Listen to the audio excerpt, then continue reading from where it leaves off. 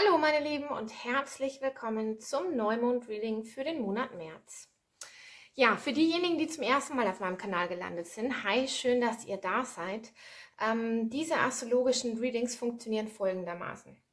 Ich drehe am Anfang immer ein kleines Intro, ähm, wo ich ein paar Karten raussuche, um die Energien, die dies, jetzt in diesem Fall dieser Neumond für äh, uns alle mitbringt, wo ich das ein bisschen erkläre und ein bisschen veranschauliche.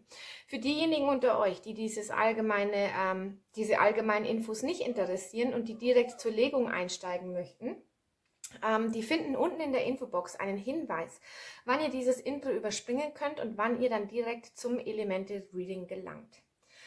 Gut, meine Lieben, Neumond im Zeichen der Fische ist wirklich zum einen, ne, Neumond ist ja immer der Startschuss für einen neuen Zyklus. Ähm, zum anderen ist dieser Neumond im Zeichen der Fische der letzte in diesem astrologischen Jahr. Und es ist seit langem mal wieder eine, ähm, eine Energie, die ich selbst auch wirklich ganz stark wahrnehme. Ähm, es hat etwas sehr Heilendes und es geht darum, wirklich einen, einen Zugang zu anderen Dimensionen zu bekommen, vor allem zu anderen Dimensionen zu seiner eigenen Seele. Das kommt natürlich darauf an, wo deine Seele steht. Ähm, es kann für manche von euch sein, dass diese, ähm, dass diese Neumondenergie wirklich nochmal was hochholt, irgendein Thema beleuchten will. Es kann aber auch einfach sein, dass es für manche von uns, und das ist so ein, ähm, ja, das ist so ein Wort, das mir zu dieser Neumondenergie eben eingefallen ist, ist dieser Glaube und diese Have Faith Energie, ähm, dass man wirklich wieder anfängt, beziehungsweise nicht, dass man wieder anfängt, sondern dass man den Fokus ein bisschen mehr auf die Dinge legt, die nicht ganz greifbar sind, nämlich auf, auf Träume, auf das Unterbewusstsein, auf ähm, ja, die Dinge, die eben in einem stattfinden. Und ähm, ich sage jetzt mal, die vielleicht auch so ein bisschen weggehen von der, von der realen Welt oder von dem, was man in seinem täglichen Leben erlebt, sondern das, was wirklich ähm, ja, auf einer anderen Dimension stattfindet. Ich habe mal die Karte hier zum Neumond im Zeichen der Fische rausgelegt und hier steht Mediate and Contemplate. Und da geht es wirklich darum, dass du einen Zugang zu dir selbst bekommen kannst. Übersetzt heißt das im Endeffekt, ähm, meditiere und betrachte, was stattfindet. Also hör in dich hinein auch sehr wichtig, denn das ist so eine äh, Fische-Energie. Achte auf deine Träume, achte auf die Dinge, die dir passieren. Wenn du mit dem Aspekt rausgehst in die Welt, ähm, dass nichts ohne Grund passiert, hinterfrag die Dinge, ne? wirklich hör in dich hinein, setz dich mit den Dingen, die in deinem Leben passieren, auseinander.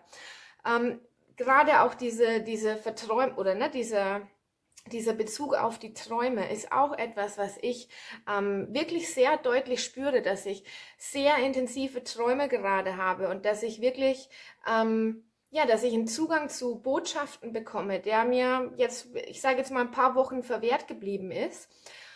Und wenn du das Gefühl hast, du kannst deine Träume nicht deuten, denn oft ist das ja so, ne? Oft sind ja die Botschaften, die wir da durch unsere Träume ähm, bekommen, nicht wirklich nicht wirklich verständlich, will ich sagen, dann erinnere dich daran, was hängen bleibt. Ne? Und Google mal Traumdeutung oder so, denn so ist es mir ergangen. Ich habe in der letzten Zeit wirklich intensive Träume gehabt und natürlich waren die alle nicht so greifbar, aber ich konnte mich daran erinnern, dass ich das viel irgendwie mit mit Schiffen und mit Booten ähm, stattfand. Also habe ich angefangen Traumdeutung Schiffe und Boote zu googeln und habe da wirklich habe da wirklich so ein paar Erkenntnisse für mich ziehen können. Also die Dinge, die gerade in dir stattfinden oder die Dinge, die gerade passieren, vor allem die wie gesagt nicht greifbaren Dinge auf die möchte dieser Neumond ein Augenmerk legen. Es geht hier die hohe Priesterin ist die, ähm, ist die Karte der Fische und es geht hier wirklich darum, ein, ein besseres Verständnis für sich selbst zu bekommen, ein besseres, ne, wirklich so ein besseres Verständnis für unterbewusste Themen und unterbewusste Prozesse zu bekommen, aber natürlich auch diese, diese Heilung, dieses Next Level of Spiritual, nochmal, Next Level der Spiritualität. Ähm, und ja, so ein, vielleicht auch wirklich die, die Chance, so, ein, so, eine gewisse, so ein gewisses Gleichgewicht in sich zu schaffen. Genau das ist die Energie, die dieser Neumond mitbringt, also eine sehr nach innen gerichtete Energie. Und dass du dich, oder den, den, ähm, den Ratschlag, den ich jetzt habe an euch, meine Lieben, ist wirklich sich ganz bewusst mit sich selbst und mit seinen eigenen Impulsen auseinanderzusetzen und mit den Gefühlen, die da hochkommen. Denn Fische ist ein, ähm, ist ein Wasserzeichen und natürlich geht es da auch um Gefühle. Was für Gefühle kommen hoch? Was, was, was fühlst du? Hinterfrag das mal, betrachte das mal, denn es könnte dir wirklich dabei helfen, wichtige Erkenntnisse über dich selbst zu gewinnen. Gut, so viel dazu. Das war heute auch ein relativ kurzes Intro.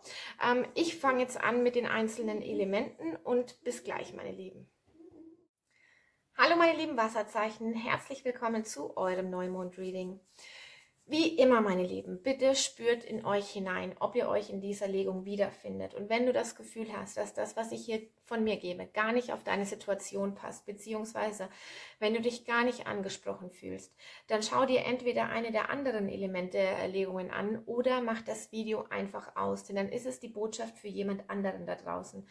Ähm, ich bin der Überzeugung, nein, nicht nur der Überzeugung. Ähm, es ist so, dass man wirklich spürt, ob man sich in einer Legung angesprochen fühlt oder nicht.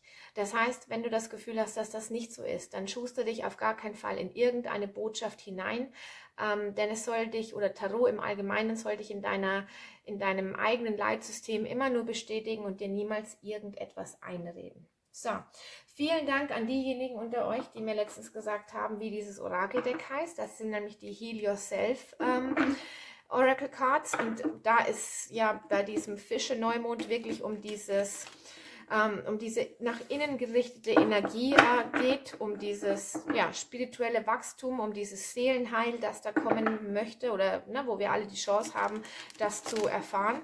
Ähm, fand ich dieses Deck hier sehr passend heute zu dieser Legung. Ich könnte mir auch wirklich vorstellen, mein Leben, meine lieben Wasserzeichen, dass ihr sehr viel ähm, Impulse bekommt, dass ihr ein, dass diese Fische-Energie, eben weil es auch ein Wasserzeichen ist, ähm, viel, viel von dieser Energie spüren könnt.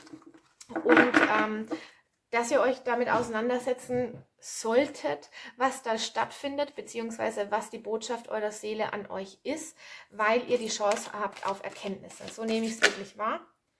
Letting go. Okay. Und an der Unterseite des Decks die Rejection. Und ich muss wirklich sagen, ich habe gerade schon das Erdzeichen-Reading gemacht. Und es geht wirklich ganz, ganz viel um so innere Themen, ne, die noch nicht vollständig abgeschlossen sind. Beziehungsweise ich habe wirklich das Gefühl, dass, ähm, ja, dass wir die Chance auf Heilung haben. Und Rejection heißt Ablehnung. Also wo bist du irgendwie abgelehnt worden oder wo hast du das Gefühl, abgelehnt zu sein? Ähm, an der, also unter dieser Rejection-Karte, Help from above. Und genau das ist diese Energie, die Fische-Energie, ne? dieses, dieses, das, was nicht greifbar ist, sondern das, was auf einer anderen oder in einer anderen Dimension stattfindet. Das ist genau die Energie, die wir jetzt nun verinnerlichen können, die wir jetzt annehmen können, mit der wir jetzt arbeiten können. Und das, was ich hier jetzt sehe, meine Lieben, ne? Entweder ist es die Angst vor Ablehnung, mit der man sich nochmal auseinandersetzen soll, damit sie gehen kann. Ähm, in welcher Form auch immer hier jetzt Ablehnung liegt, ähm, ob das kindheitsgeprägt ist, ob das irgendwas mit einer Beziehungsdynamik zu tun hat. Ich habe das Gefühl, mit diesem Letting Go, dass diese Energie gehen möchte, das Gefühl, dass du nicht gut genug bist. Und das war auch gerade schon die Botschaft im Erdzeichen-Reading. Das heißt, wenn du mit einem Erdzeichen zu tun hast oder wenn du sehr viel Erde in, deiner, in deinem ähm, Geburtshoroskop hast, dann schau dir gerne das Erdzeichen-Reading an. Denn genau darum geht es. Es geht darum, dass so, ja, dass solche Gefühle eben gehen wollen. Ne? Dass, äh, ja, das ist, das ist, ich nehme so eine starke Heilungsenergie wahr über diesem, über diesem äh, Neumond. Deswegen schauen wir jetzt gleich mal, was die Tarotkarten äh, sagen. Aber auch hier, ne, auch hier nehme ich ja, ich wollte, ich wollte es gerade sagen. Auch hier nehme ich eine starke Selbstliebe, Energie wahr, eine Heilungsenergie, eine Erkenntnis über dich selbst mit dem Eremiten, etwas, was wirklich, was mit Soul Searching zu tun hat, was wirklich etwas mit Tiefgang zu tun hat. Ähm, wir schauen mal. Liebes Universum, ich hätte gerne eine Botschaft hier für meine Wasserzeichen. Königin der Stäbe.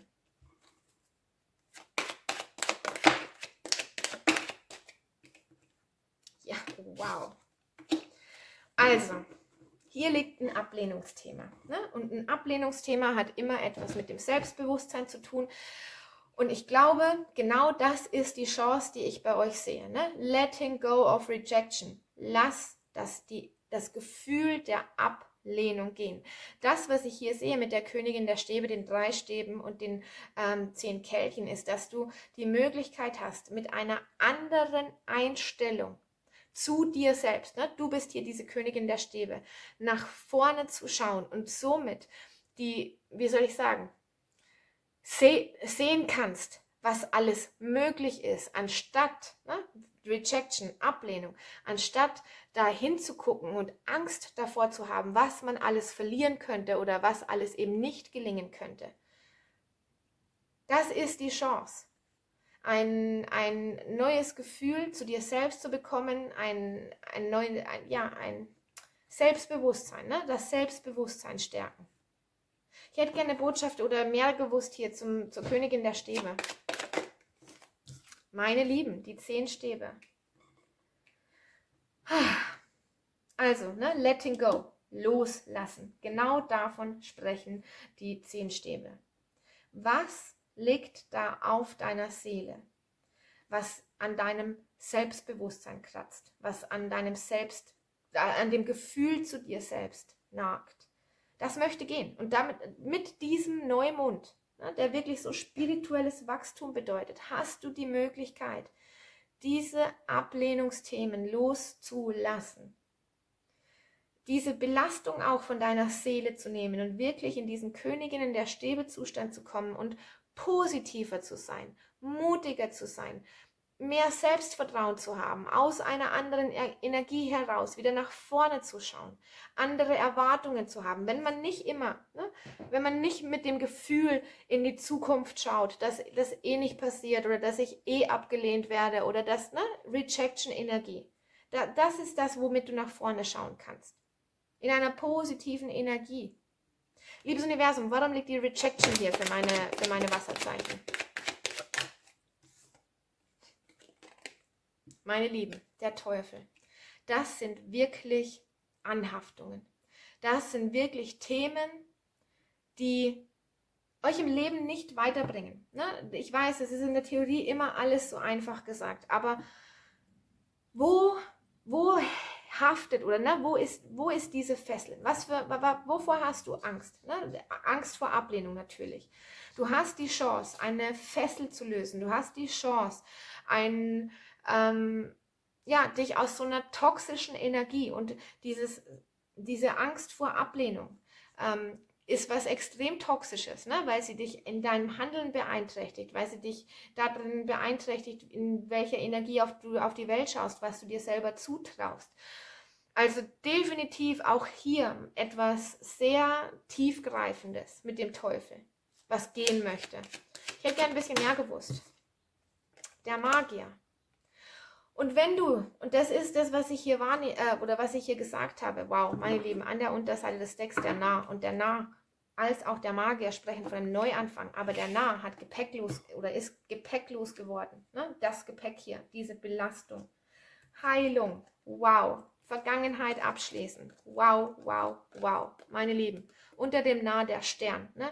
Spirituelles Wachstum, absolute Heilungsenergie, die dieser ähm, Neumond im Zeichen der Fische für euch mitbringt, wo ihr die Chance habt, wirklich etwas hinter euch zu lassen. Und das, was ich gerade sagen wollte zum Magier, wenn man immer und mit der Angst vor Ablehnung in die Welt oder mit der Angst vor Ablehnung in die Welt hinausschaut, dann manifestiert man das auch. Man manifestiert Situationen, in denen dieses Gefühl immer wieder bestätigt wird.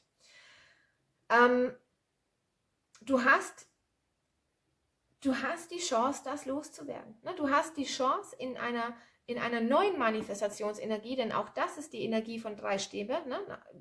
positiv nach vorne schauen, selbstbewusst nach vorne schauen und somit eine andere Erwartung ans Leben zu haben und auch da eine andere Erwartung, was in deinen Hafen einläuft, nämlich positive Dinge, was auch immer die zehn Kelche für dich sind. Für viele von euch mögen es Beziehungsthemen sein.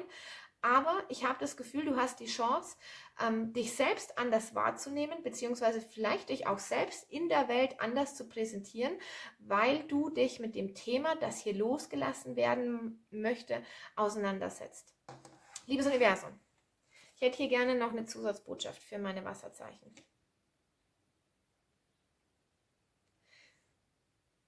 Ganz, ganz, ganz stark liegt hier dieses Ablehnungsthema das gehen möchte. Wirklich. Eine Zusatzbotschaft. Ja, wow. Wow.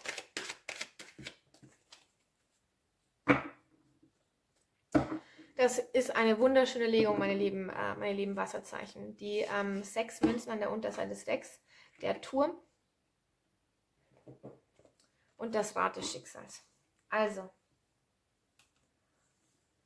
der, das, was ich hier wahrnehme mit dem Turm, ist ein, ja, ist dieses Loslassen, ist, ist ein Knoten platzen lassen, ist eine, das Loswerden, ne? oder diese Kette springen von mir aus auch, die dich fesselt, die dich an Ort und Stelle hält, die dich immer wieder in selbe Situationen schickt.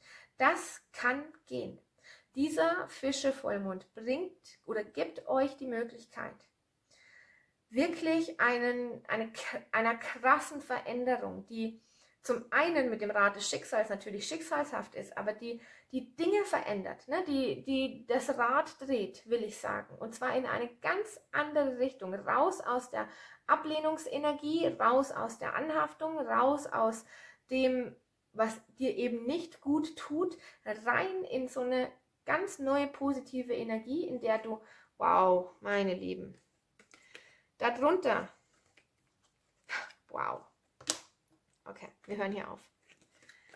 Das kann gehen. Ihr habt die Chance, dass das geht, meine Lieben. Wenn ihr euch damit auseinandersetzt, ne? wie gesagt, also nee, nicht wie gesagt, ich habe das ja, ich habe das nicht in eurem Reading gesagt, ich habe das im Erdzeichen-Reading gesagt. D diese Chancen oder das, was hier liegt, kommt nicht an, ne, kommt nicht vorbei galoppiert und plötzlich siehst du die Welt mit anderen Augen. Es geht darum, dass du die Chance hast, in dich hineinzuhorchen, dass du die Chance hast, das zu erkennen, deine eigenen Anhaftungen zu erkennen, deine eigenen Glaubenssätze zu erkennen, zu erkennen, wo du dich selbst klein hältst, wo du, ne, wo die Angst vor der Ablehnung dich immer wieder in irgendwelche Situationen rein manövriert, ähm, die du ja dringlichst vermeiden willst. Du hast die Chance, dieses verletzte Herz zu heilen. Ne? Wir haben ja hier auch gerade den Stern gesehen. Und du hast auch die Chance, ne? hier, auf einen Neuanfang. Und zwar in Balance und glücklich und in einer völlig anderen Energie. Und genau das ist das, was der, was der Fische-Vollmond dir zeigen will. Setz dich mit den Gefühlen auseinander, weil es ist eine Chance auf einen Neuanfang. Setz dich mit dir auseinander, mit den Themen, vor allem mit den Ablehnungsthemen. Wo kommt's her? Ne? Was, was ist das hier? Was ist der Kreislauf, den ich hier verlassen muss? Meine, meine lieben Wasserzeichen, das ist wirklich eine wundervolle Energie und das, das, was ich hier sehe mit dem Turm und dem äh, Rad des Schicksals, könnte ein Wendepunkt in eurem Leben sein. Das könnten Erkenntnisse sein oder wie auch immer, aber ich sehe hier definitiv einen Wendepunkt. Ähm, wenn ihr diese Energien zulasst und wenn ihr es zulasst, euch mit dem zu auseinanderzusetzen, was so kommen will, ne? was da so durchkommen will. Kann sein, dass das mit dem Teufel erstmal nicht so schöne Gefühle sind, aber Ihr habt die Chance, es loszulassen. Ihr habt die Chance auf eine, ja, auf eine Explosion oder auf ein, ja, ein geplatzter Knoten. Für mich ist der Turm hier ein geplatzter Knoten. Auf einen Richtungswechsel. Das möchte ich sagen. Ihr habt die Chance auf einen Richtungswechsel und auf, ähm,